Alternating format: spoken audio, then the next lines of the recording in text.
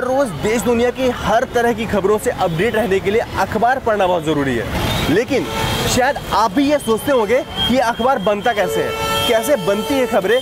किस तरह से अखबार हमारे हम लोगों तक पहुँचता है और हम लोग इसमें हर खबर को पढ़ पाते हैं? यही जानने के लिए मैं आपको ले चलता हूँ एक ऐसी जगह पर जहाँ पर आपको इन सारी चीज़ों के आंसर मिल जाएँगे। आइए चलते हैं।